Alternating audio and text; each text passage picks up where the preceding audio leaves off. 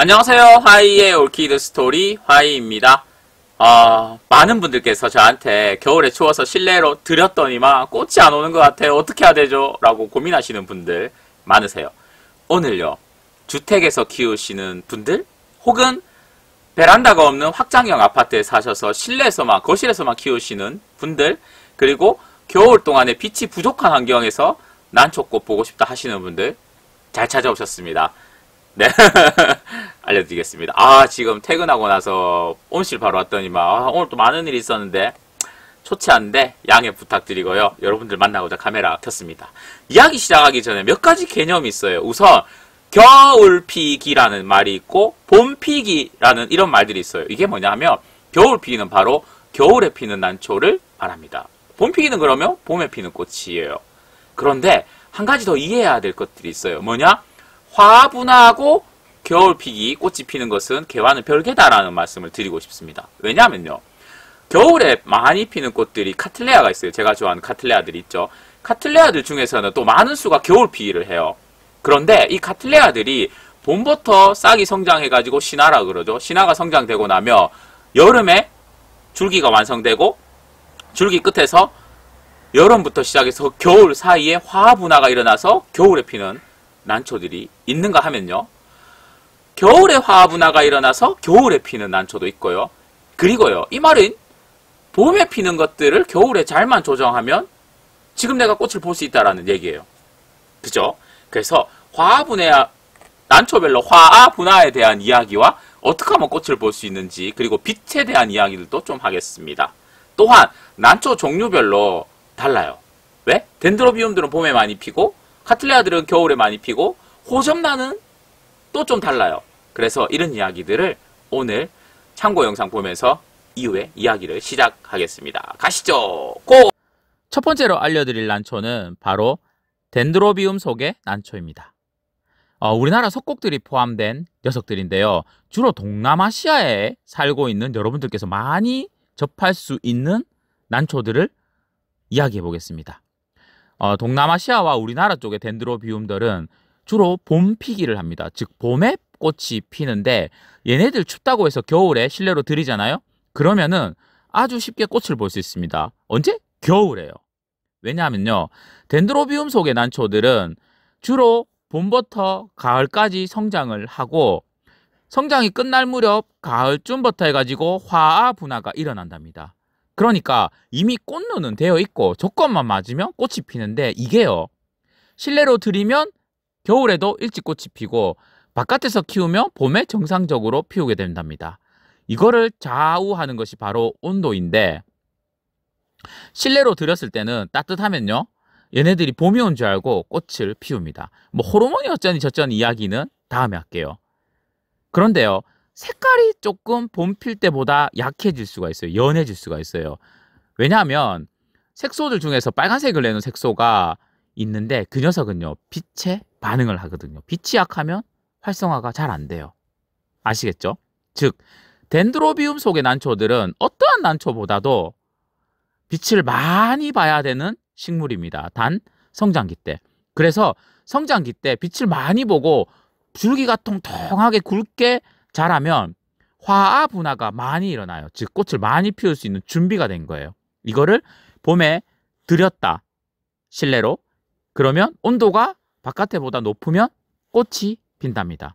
빛은 크게 좌우하지 않습니다. 단 꽃이 폈을 때 빛이 약하면 색깔이 약할 수가 있다. 두 번째로는요. 많이 키워지는 것들이 바로 카틀레아입니다. 카틀레아는 종류에 따라서 어, 봄에 성장을 가을부터 해서 겨울에 화분화하는 녀석들이 있어요. 정확히 말하면 겨울이라기보다는 겨울에 초입, 초겨울 혹은 늦가을이에요. 누구가 그러냐면 바로 왈케리아나라든가 이런 몇 가지 종류들이 있습니다. 이런 녀석들 같은 경우에는 어, 빛이 중요해요, 여러분. 빛이 충분하지 않으면 꽃이 화분화가 일어나지를 않아요. 그러니까 이런 종류의 난초들은 실내로 들이게 되면은 꽃 자체가 안 오기도 하거든요. 그리고 빛이 어, 없으면 안 되는 또 하나의 이유가 있어요. 좀 전에 말씀드린 덴드로비움 속의 난초들은 기본적인 성장이 가을에 완료가 되죠. 바깥에서. 그러나 카틀레아 같은 경우에는 벌브가 완성되어야지만 꽃이 오기도 해요. 즉 가을에서부터 성장을 해가지고 가을 성장한 녀석에서부터 꽃이 탁 펴요. 어떤 녀석들? 루덴마냐 같은 애들. 그런데 이런 애들 같은 경우에는 가을에 겨울에 추워서 들였다 하면은 빛이 부족하면은 광합성을 잘못해서 광합성을 잘못하면 줄기 성장이 제대로 안 일어나서 줄기 성장이 제대로 안 일어나면 꽃필 사이즈가 안 되어서 꽃이 안 온답니다. 그러면 이런 카틀레아류들은 꽃을 보기 위해서는 가장 중요한 조건은 충분한 빛을 보여주는 게 좋아요. 와 그러면 실내에서 들여면 우리는 거실에서 키우기 때문에 빛이 아, 빛이 적어 그럼 꽃 못 보겠네 하시는 분들 있잖아요. 그렇지 않아요. 제가 오키다리움을 여러분들에게 종종 소개했잖아요. 그러니까 어항이나라든가 유리병 속에서도 난초를 실내에서 키울 때 완전히 LED만 가지고 식물을 키웠습니다. 그러나 LED, LED로만 키워도 식물들이 충분히 꽃이 옵니다. 아시겠죠? 그러니까 여러분들도 빛이 부족한 환경에서 꽃을 피우고 싶을 때는 혹은 식물을 키우고 싶을 때는 LED를 한번 사용해 보세요. 시중에 요즘에는 되게 많은 LED들이 존재하거든요. 뭐 직구를 좀 편하게 하시는 분들은 아마존이나 이런 데서 식물 전용 등을 적당한 거 마음에 드시는 거 사시면 돼요. 그런데 나 그런 거 아니다 하시는 분은 간단하게 수족관에 가셔가지고 아니면 네이버에서 수족관용 LED를 사시면 됩니다. 수초 전용이죠. 수초 생각해 보세요. 수초는요. 양지 식물이에요. 하루 종일 빛을 풀로 봐야 되는 곳에서 살아가는 식물들도차 키울 수 있도록 설계된 것이 바로 수초용 LED예요. 아주 쉽게 구할 수가 있죠. 그러면 완전 양지 식물이 아닌 난초 정도는 쉬운 종목기로 꽃을 피울 수 있다. 이 얘기입니다. 아시겠죠? 실내로 들였을 때, 아, 우리 집 빛 좀 부족한데 하시는 분들은요, LED를 보조광으로 한번 사용해 보세요. 꽃이 옵니다. 달라지는 것을 느낄 수가 있을 겁니다. 세 번째로는요, 어, 호접란류를 이야기하고 싶습니다. 어, 호접란들은 사실 봄 피기부터 가을, 겨울 피기까지 아주 다양한데, 이 녀석들만 제가 예외적으로, 어, 시중에서 흔히 구할 수 있는 일반적인 호접란, 즉 교배종일 가능성이 큰 녀석들을 이야기하겠습니다. 왜냐하면요. 요즘에 이제 난초 취미인들이 늘면서 원종 카틀레아, 원종 덴드로비움들은 쉽게 구할 수가 있죠. 그런데 아직까지 비교적 원종 호접란들은 그렇게 숫자가 다양하지가 못해요. 여러분들이 쉽게 구할 수 있는 것은 압도적으로 선물용으로 나가는 호접란이고 걔네들도 아주 매력이 있죠. 이 녀석들을 꽃 피우기 위해서는 어떤 조건이 필요한지를 알려드릴게요. 바로 온도예요. 호접란은요, 사실 좀 복잡하거든요. 동남아에서 건기 우기가 있기 때문에 건기냐 우기냐에 따라서 화학 분화가 일어나는 것이 다른 녀석들이 있어요. 왜냐? 적도 지역 같은 경우 특히 그렇거든요. 그런데 이게 좀 북방 쪽으로 조금씩 올라가다 보면 온도나 빛의 장단일에 영향을 받기 시작을 해요.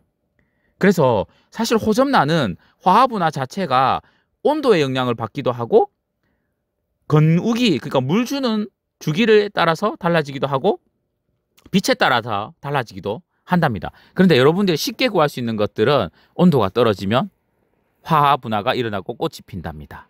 아시겠죠?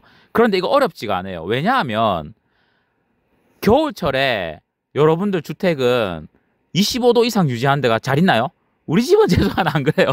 네, 기름값이 아까워가지고 혹은 난방비가 아까워서 그렇게 하지 않아요. 한 20도? 높아요, 20도죠. 네. 그런데 온도가 자동으로 얘가 한 18도 전후까지 떨어지면 화학 분화는 일어납니다. 그런데요. 풍성한 꽃을 보기 위해서는 이야기가 달라요. 왜? 빛이 필요합니다. 좀 전에 카틀레아처럼 이 녀석들 겨울에도 꽃대를 길게 늘리기 위해서는 광합성을 해서 양분을 만들어야지만 되거든요. 고로 겨울에 빛이 부족할 때 호접란 앞에다가 LED를 보조광으로 사용하면 풍성한 꽃을 피울 수가 있답니다. 오늘의 기승전결은요. 바로 실내에서 꽃을 보고 싶다고 하면 바로 LED를 사용하라 였습니다. 네, 그러면은 다음에도 또 유익한 정보로 찾아뵙겠습니다. 다음에 뵙겠습니다.